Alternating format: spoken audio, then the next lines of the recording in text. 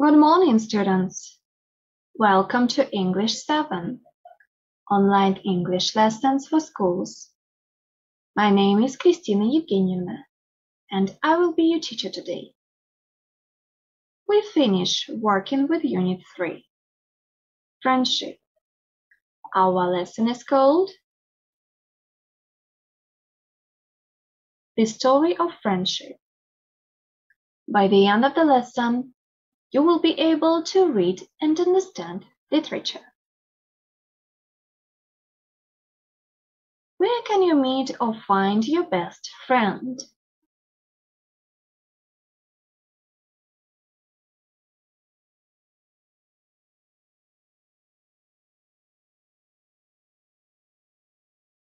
Look at the advertisement below.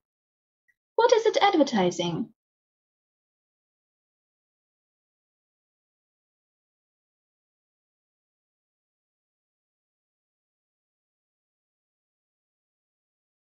Adopting a dog.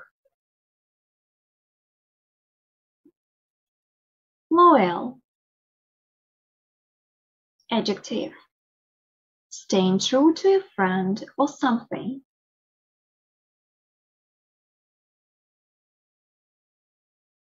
Answer the questions below. What quality of a BF does the advertisement mention? What other qualities make dogs people's best friends? What does loyal mean? What do loyal people, friends, or dogs do?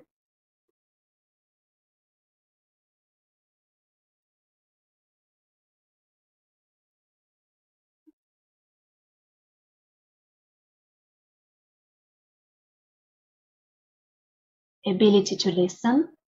Dogs are loyal. Faithful. They always stand by your side.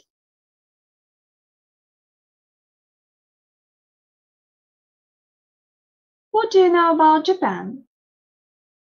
What do you think is a favorite pet in Japan? Dogs and cats, same as everywhere else in the world. Dogs as everywhere, but the popular breeds are very different. Goldfish. Japanese culture is very mysterious.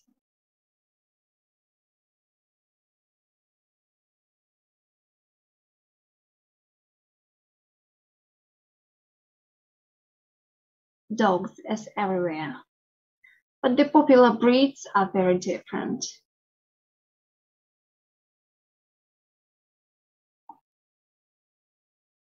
Look at the picture of a statue in Tokyo.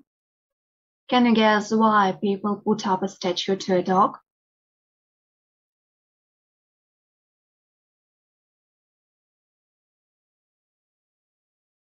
Make a list of questions to ask a city guide about this statue.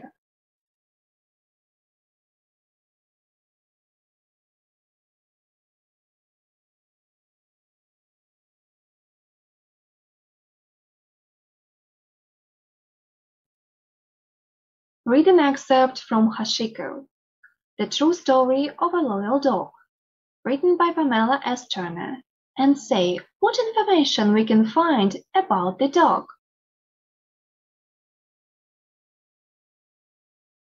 There is a statue of my old friend at the entrance to Shibuya Station. His bronze feet are bright and shiny, polished by thousands of friendly hands. There is a sign that says simply Loyal Dog Hachiko. I close my eyes and remember the day we met. So long ago. When I was six years old, my family moved to a little house in Tokyo, near the Shibuya train station. At first, the trains frightened me. But after a while, I grew to enjoy their power and the furious noises they made. One day I begged Mama to take me to meet Papa as he came home on the afternoon train. She laughed and said, Kintaro, you have become big and brave. just like a samurai. Together we walked to the station. It was spring, and the day was clear and cold. There were tiny carts all around the station, selling snacks, newspapers, and hundreds of other things to the crowds of people rushing by. Ladies in kimonos uh, walked carefully, trying to keep their white tabi socks away from the grime of the streets. Businessmen strolled about, hurrying home or to catch another train. Mamma and I had stopped near the station entrance when I noticed the dog. He was sitting quietly, all alone, by a newspaper stand. He had thick, cream-colored fur, small pointed ears, and a broad, bushy tail that curved up over his back. I wondered if the dog was a stray but he was wearing a nice leather harness and looked healthy and strong. His brown eyes were fixed on the station entrance. Just then Papa appeared. He was chatting with an older man.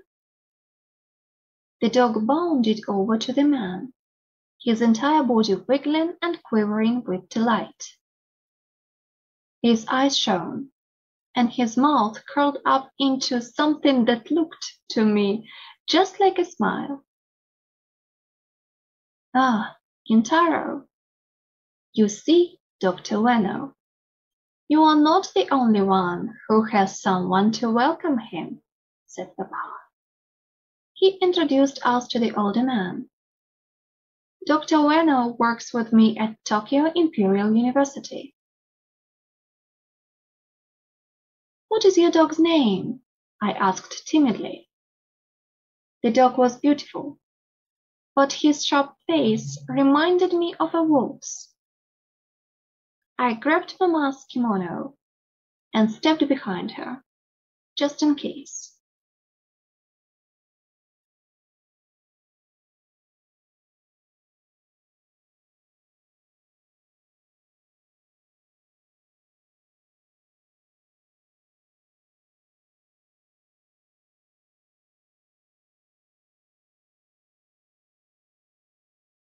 Has the story answered any of your questions to the city guide?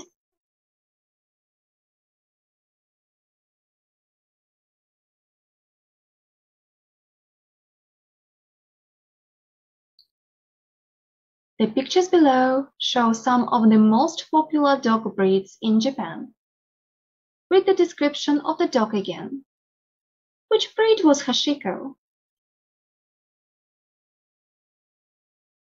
He had thick, cream-colored fur, small pointed ears, and a broad, bushy tail that curved up over his back. I wondered if the dog was a stray, but he was wearing a nice leather harness and looked healthy and strong. His brown eyes were fixed on the station entrance. So, was it Chin, Akita, Pomeranian, or Chihuahua?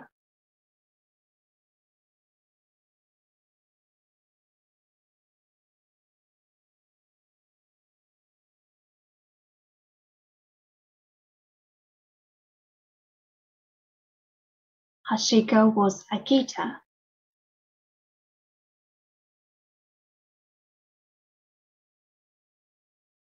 Read the excerpt again and answer the questions below.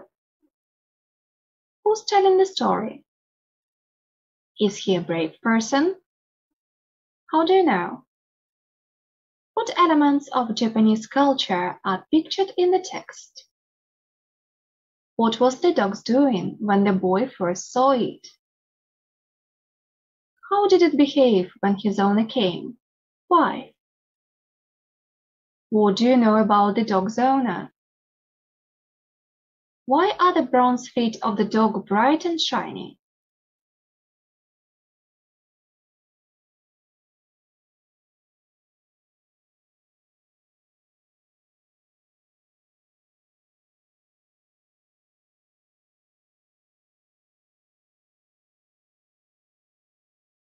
Kintaro.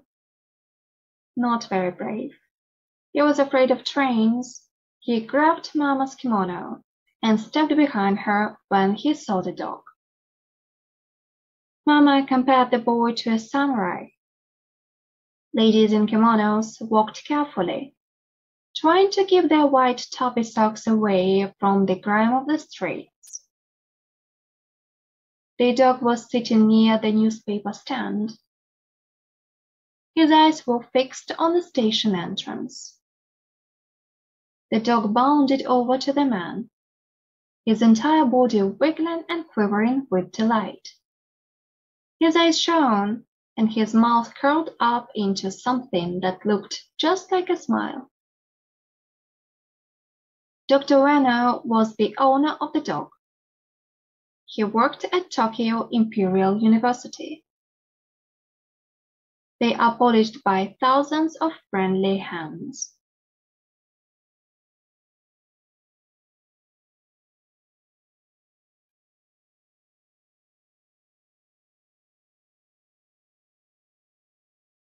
Can you guess what happened next in the story? Would you like to read the whole story?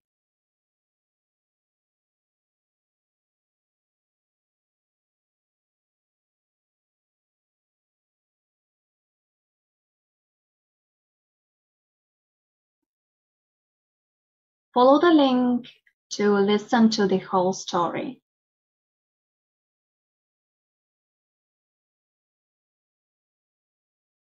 Oh, Our today's lesson is finished.